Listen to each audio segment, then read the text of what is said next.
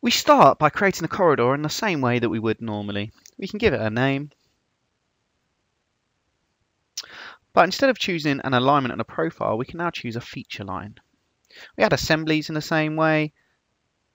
It comes up baselines and regions in the same way it did before. We can also edit the corridor in exactly the same way we have done when we're using alignments and profiles.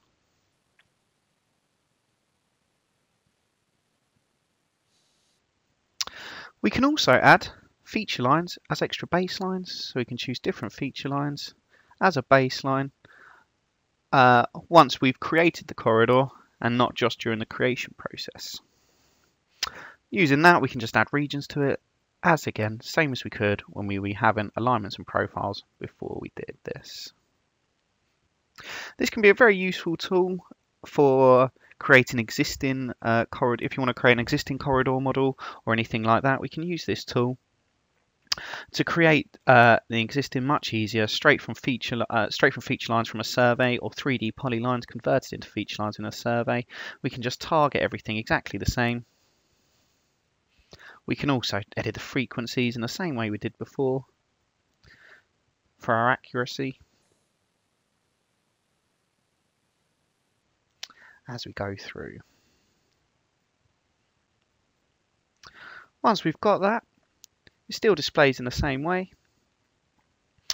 Um, and everything else is exactly the same as what it was before. If you go through, you can change all your code set styles and you can change everything you like to display it however you want.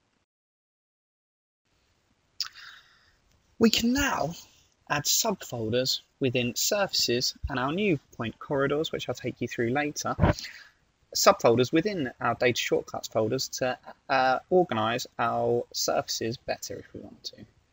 So here you can see I'm making an, an existing and a proposed subfolder. I'll then create data shortcuts like normal. Choose all my surfaces. From there I can just drag and drop them into whatever folder I like, which makes it much more manageable when I get to importing them into different drawings and different models.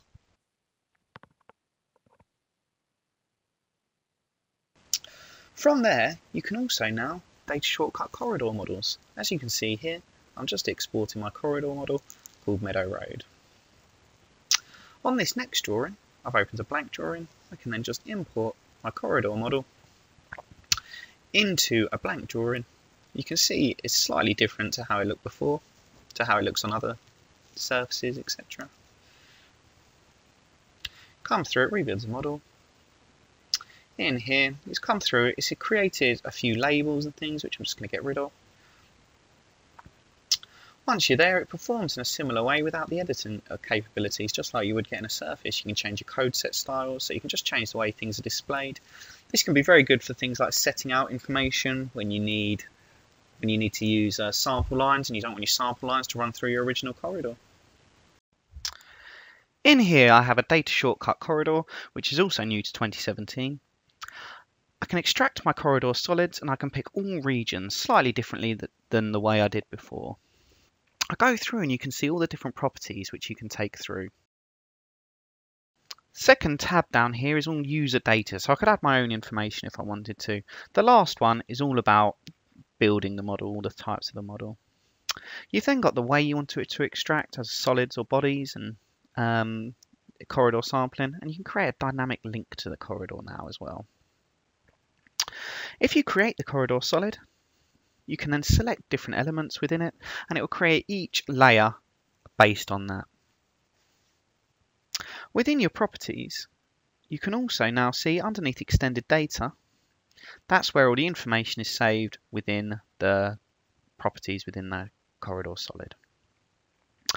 When in Navisworks, you can append a solids model just like you can with most other things. And in here, when it comes up, you can select your elements and they just display in your properties panel just like they would in AutoCAD or something else, anything else. They come over in actually two tabs though, as when you go into your properties from your corridor solids, you can see the two different bits of information as you go through and you can also pick different solids.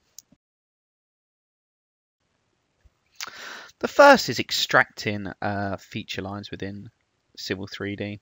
When you extract feature lines from a corridor, you can now see as a little preview which ones you're going to extract when you do it and it will also pick multiple as you go through. I've just gone from the back of footpath and crown at the moment. It then will list all the feature lines below that, so all the layers as part of your corridor build-up will get listed as part of that. And you can go through and pick all the ones you want and pick or untick all the ones you don't. You can also un untick multiple at the top left and just pick a couple if that's all you needed. Once there, you can click extract on the bottom right, and that will extract them separately. If you go into the properties, you can see they automatically have a dynamic link which can be unticked if you wanted it to. You can also now move feature lines to a non-site. This means they won't have a site, uh, whereas previously they'd always had to. Therefore, they now will be displayed in your tool space. This is also in 2016 if you get the update service pack. Thanks for watching my video.